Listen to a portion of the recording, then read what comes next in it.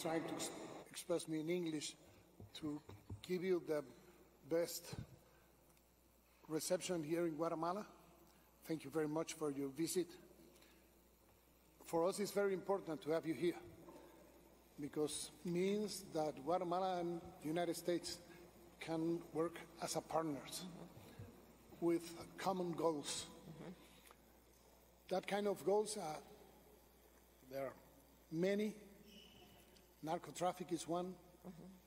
Mi- immigration, the fight against the corruption, and the needs to build prosperity walls, especially in the departments who are near the border of Mexico. And for that, for that uh, things, we will prepare you uh, many things that we have that we consider that we can work together. And it rest me more than give you the thanks for being here, Thank you. the thanks for your cooperation, but uh, this part will be hard in English. I, I, I finish in Spanish. Okay. Gracias. Es para nosotros la búsqueda de puntos en común para que podamos trabajar juntos. Desde ya le ofrezco la mejor relación histórica que pueda haber entre Estados Unidos y Guatemala, en donde encontrará un país que desea cooperar, un país que desea unir esfuerzos, un país que, como usted lo habrá podido ya saber, un país de oportunidades todavía. Y la construcción de esas oportunidades es lo que nos va a hacer posible que no perdamos ese bono demográfico, los jóvenes que se nos quieren ir, sino que generemos en Guatemala las condiciones para que puedan encontrar aquí la esperanza que hoy por hoy no tienen, producto de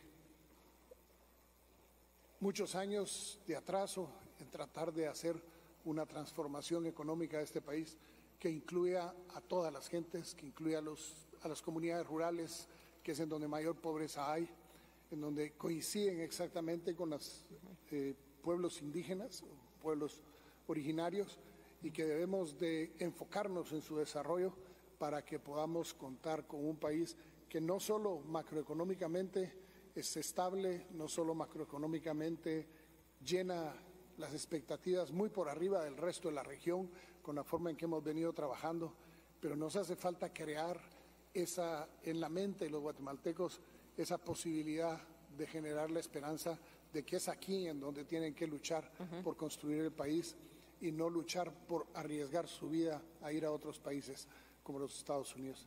Así que muchísimas gracias. Sea usted cordialmente bienvenida a nuestro, a nuestro palacio de gobierno, en donde ese símbolo que tiene en medio marca el kilómetro cero.